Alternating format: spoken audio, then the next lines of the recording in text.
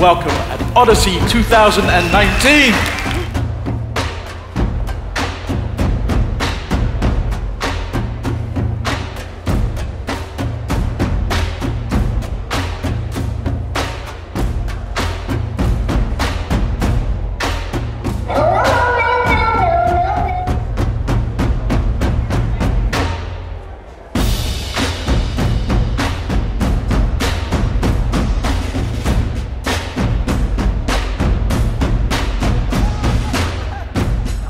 We are not optimizing the status quo, but really finding new ways to organize our society in a much better way, because we can, and we will. 1,500 people working really together and collaborating, that's uh, for sure a start of a transformation.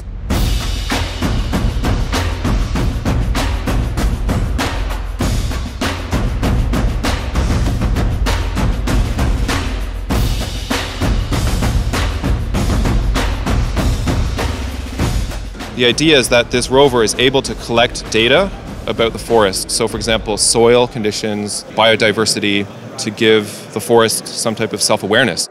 We're building a disaster recovery system, which essentially is a backup form of internet that activates when all of their systems go down.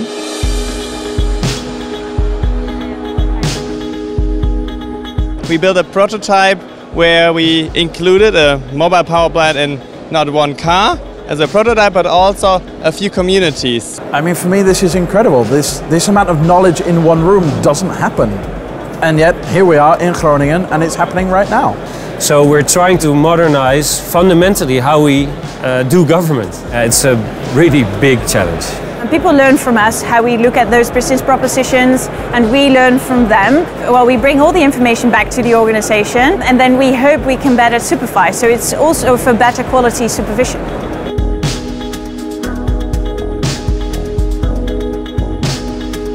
We're building um, an implementation of an augmented bonding curve. So an augmented bonding curve is a new uh, financing mechanism for continuous and self-governed organizations. So basically a new way to fund uh, digital commons like open source projects and infrastructure. You know, it's, it's, the scale is just nuts. How many teams?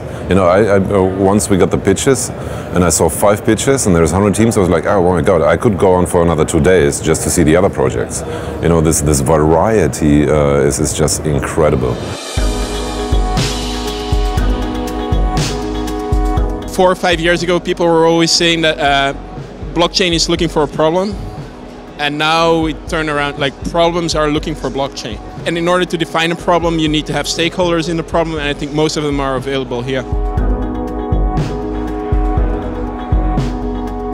I tried for more than 30 years, just based upon ethical reasoning to do the right thing, it doesn't work. So we have to outcompete the destructive systems in uh, developing sustainable systems that are more profitable and are better for nature and people. This event is for the fast one, yeah. Is where you, where you directly show to the clients the product and they immediately see like can they identify themselves with that product and can they actually help shaping it. So that's the best way to get out of this. Have your client directly at the desk, you know, when you create.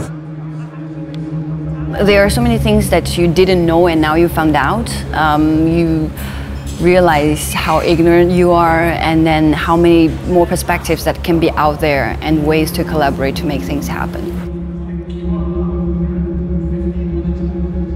And people are thinking up every year again at this hackathon brilliantly new things and I think we're getting closer and closer to having the, the technology at a level that this is really scalable. This is an incubator for ecosystems that solve complex problems through mass collaboration. I think there's a cultural shift with blockchain I've never seen with any other industry or tech. You may be in the same quote unquote competitive industry, but actually you should collaborate and work together still. The walls are breaking down and um, many good things are happening from that.